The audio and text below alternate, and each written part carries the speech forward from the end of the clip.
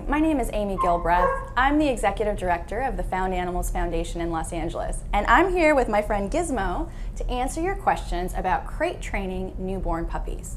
Now, in general, we are big fans of crate training. It's the fastest and easy easiest way to housebreak your pet. However, it is not appropriate for newborn puppies for a variety of reasons. First of all, when puppies are first born, their eyes are closed and they can't hear anything. So they wouldn't even realize that they were in a crate, let alone why they were in the crate. Plus, at that age, puppies have little to no control over their bladder. They develop bladder capacity and muscle control as they get a little bit older. So you don't want to start crate training a puppy until they're about 8 to 10 weeks old, like my friend Gizmo here. And you need to know that puppies don't develop the capacity to make it in their crate all the way through the night until they're three to four months of age at least. Now, bladder capacity and muscle control can develop at varying rates for different dogs.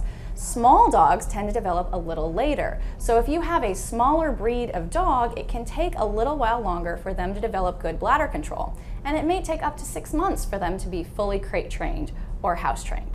So while we're big fans of crate training overall and we think it's a great tool, it's a no for newborn puppies. Wait until they're 8 to 10 weeks old to start crate training.